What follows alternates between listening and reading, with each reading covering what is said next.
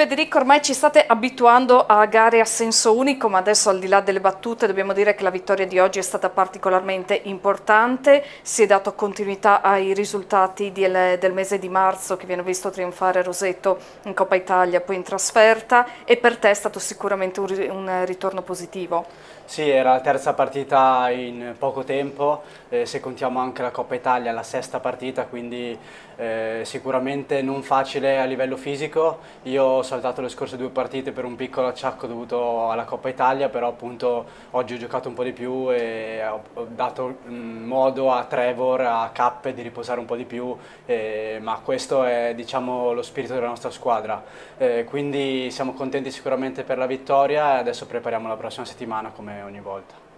Solo qualche incertezza, se così si può dire, nel secondo periodo, ma di fatto non avete mai consentito ai vostri avversari di rientrare in partita?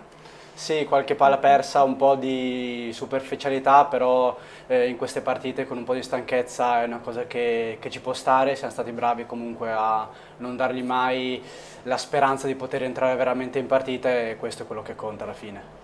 Ormai siamo arrivati alle battute finali della regular season, domenica andrete a far visita a Trapani, poi ci sarà recupero in casa con Cantù e chiuderete proprio al Carnera con Orzi Nuovi. Ormai siamo nel countdown finale per consacrare questo primo posto che avete dimostrato in tutti i modi di strameritare. Sì, penso che lo meritiamo ma dobbiamo dimostrarlo sul campo come ogni volta, quindi non possiamo permetterci eh, passi falsi contro squadre eh, sicuramente meno attrezzate di noi e dobbiamo trovare, farci trovare pronti contro Cantù in casa che sicuramente sarà una sfida importantissima e quindi ci prepareremo al meglio per affrontare quest'ultimo periodo di stagione.